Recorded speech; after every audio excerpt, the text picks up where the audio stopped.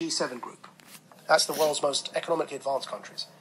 And the UK currently chairs the G7 group. Our Chancellor, who does our economy, called Chancellor of the Exchequer, his name's Rishi Sunak.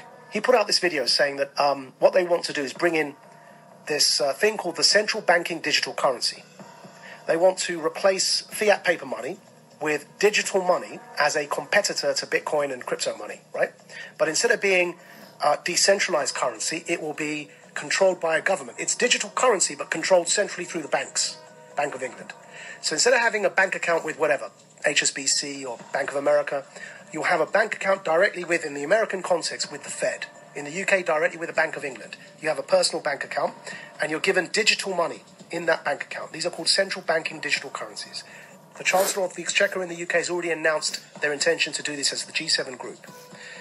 And these, uh, if you look up um, This sounds terrifying. if you look up uh, uh, the Telegraph newspaper, central bank digital currency, uh, currency. That, is that the one down It's- below? digital currency should be programmable. See that one there? Yeah. Now what Yeah. they're doing is they're saying, you know, everyone knows that with inflation at over five percent, it's now five point four percent, right?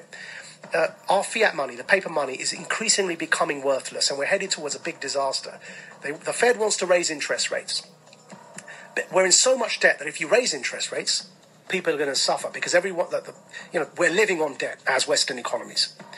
So they realise that this kind of the lifespan of paper money is fast coming to an end because of the 2008 economic crash in particular. So they're bringing in these central banking digital currencies. Why is that word programmable in there? So what they said in that article, and the, and the Chancellor put a video out saying this as well, they've said that this money that you will earn from work, instead of having paper money, you have this digital money. It's programmable so that you can't buy certain foods, or if you do something that your employer doesn't like, it's all in that article. You won't be able to spend your money.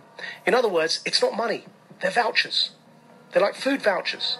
And they can be programmed so that, like the Chinese social credit system, that if you try and use them on a certain thing, it won't work. You say you want to buy a burger and they want you to buy bugs which is one of the examples used. If you start to try and buy unhealthy meat, just won't work. You tap, you tap your card, you can't buy the thing because you've met your quota that month of burgers.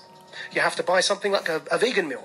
so Yeah? it won't just be money in the sense of the way we have dollars or pounds today. Yeah. It'll be something that's controlled in terms of your ability to distribute it. which is why I'm calling it a voucher. It's a coupon. But even a coupon, if you have a coupon to buy bread, Yeah. you can still buy the bread. Like there's But no you can't buy. See that coupon to buy bread. What you can't do is buy a burger with that coupon. It's for bread. Right. Yeah? Right. Do you feel like you're sounding the alarm Yes. for people that don't understand what is going on? So here, I'll put it up for you here. Yeah. So there's the video. The group of the world's seven most advanced economies, the G7, is launching a set of public policy principles for retail central bank digital currencies, CBDCs. Central bank digital currencies could be a digital version of money, a bit like a digital banknote that could be used alongside. Right. So that's the guy who runs our economy in the UK. His name's the Chancellor of the Exchequer, and here is the article. Bank of England tells ministers to intervene on digital currency programming. Yeah. And here's a quote from the article: Digital cash could be programmed to ensure it is only spent on essentials or goods which an employer or government deems to be sensible. Holy I'm going to take it one step further for you, Joe, right? So the checkpoint Charlie exists everywhere. They bring in digital banking, central banking digital currencies. You've got a scenario now that you're checking in and out everywhere you go using vouchers that are programmed and you can only spend where you're told you can spend them. There's another word for that, man. That's called the Chinese social credit system. So what they are telling us, and when I say they, who's they? People in power. That's the head of our economy, the Chancellor of the Exchequer, second most powerful person other than the Prime Minister and maybe the Foreign Secretary in the UK, right? He's telling us, I just played it there for you. He's telling us that's what he, as the UK, the head of the G7, want to bring in for the G7.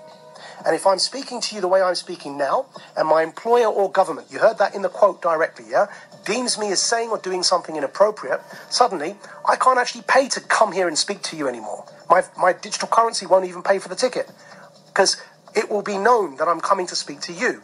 Sorry, your, your vouchers don't allow you to purchase that ticket to go and speak to Joe. And this is where we get into the kind of ce- censorship that we see in social media that is not.